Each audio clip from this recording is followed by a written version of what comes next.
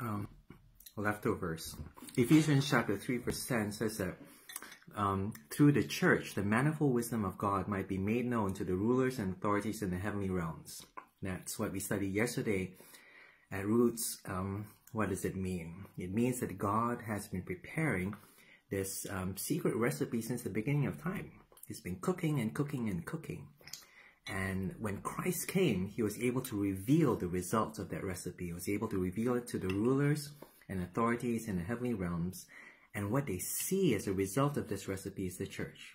What they see is you and me.